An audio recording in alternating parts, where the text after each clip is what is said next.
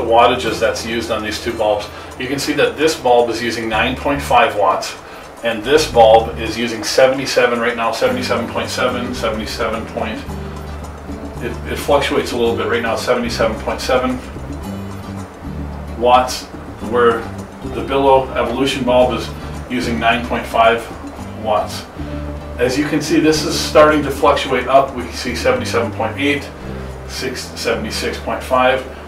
The longer this stays on, the higher the wattage consumption will get with this because the hotter an incandescent bulb gets, the less efficient it gets, and to maintain the same lumens, it'll actually consume more wattage. The opposite is true of the LED bulb. The longer it stays on, the lower the wattage usage becomes.